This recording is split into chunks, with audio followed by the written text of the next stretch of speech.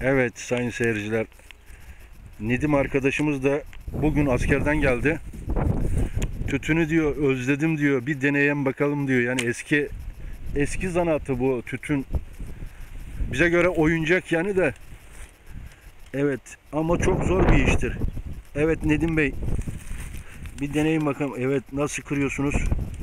Evet gayet iyi kırıyor bu da. Eski şöyle işçilerden bize. Evet.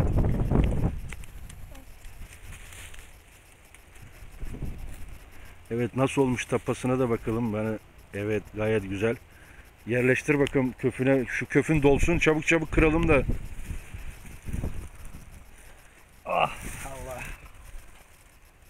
Evet. E nasıl Nedim unutmamışsın mı? Tütün işini. Aynı. Elimiz dönecek yani aynı. Yaparsak kırabiliriz.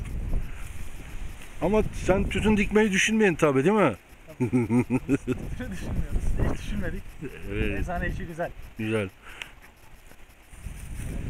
Evet. Bu kız ne yapıyor bu? Sen ne yapıyorsun? Ben Bir de- görelim bakalım seni de görelim hadi. Hadi sen Hadi. bir tane. Evet görüyorsunuz bilim Nasıl böyle bastı? bak bilmeyen nasıl yapıyor görüyorsunuz da bak hani işte elle bunları öğretmek istiyor böyle yani bilmedi mi bilinmez bu koparıyor aşağı doğru bastıracaksın yaprağı böyle aşağı doğru bas, bastırır. Evet aynen öyle. Evet sayın seyirciler. Yani zor bir iş yani öyle göründüğü gibi kolay bir iş değil. Yani bir tütünde kaç yaprak var? Nedim Bey bir saysana. Hemen sayalım. Normalde bir tütün bul. Evet.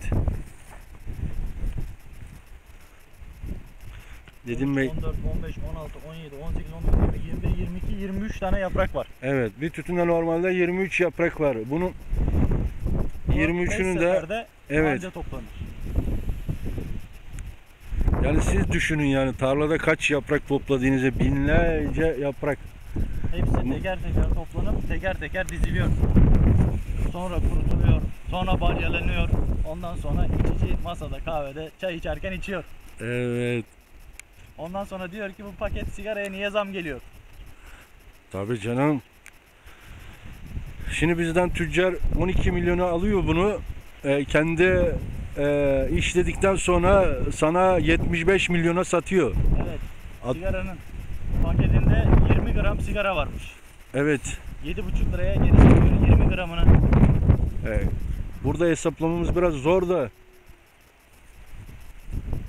Yani kiloda 50 paket olduğunu düşün. 50'yi 50'yi 7 ile çarpsak 7 kere 5 35. 3 aslında 300 milyona geliyor kilosu yani. Yani